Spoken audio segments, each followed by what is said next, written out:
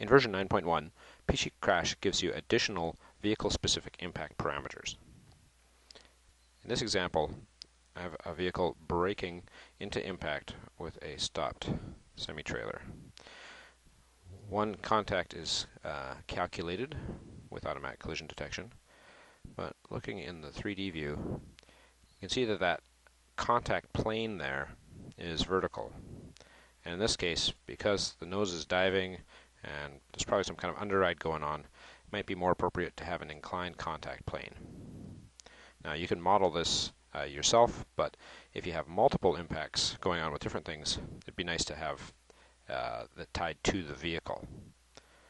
So two additions that have been made to 9.1 include impact parameters, pick the semi-trailer, the constant point of impact height, so I'm going to make the point of impact height a little higher to reflect that it's hitting the roof. I'm going to turn on a constant friction there, and I'm going to incline the contact plane angle. So that's rotating the contact plane about the horizontal axis.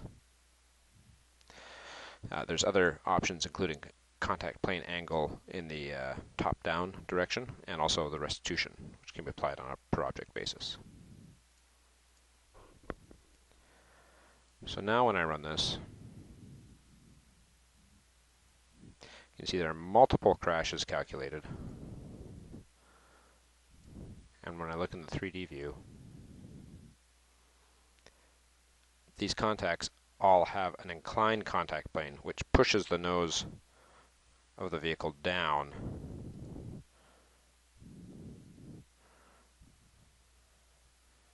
Resulting in more of that underride contact and a longer uh, distribute or a, a longer uh, total contact time.